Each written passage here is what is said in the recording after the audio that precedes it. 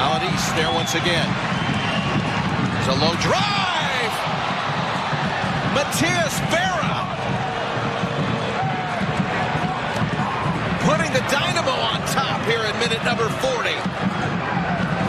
With a rocket, it's 1-0 Houston.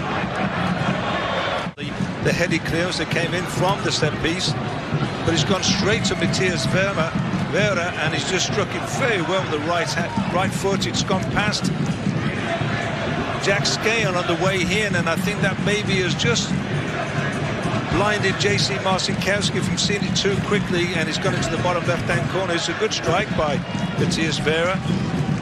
I would like to say it's a goal slightly against the run of play, but neither team have really got a grip with this game yet.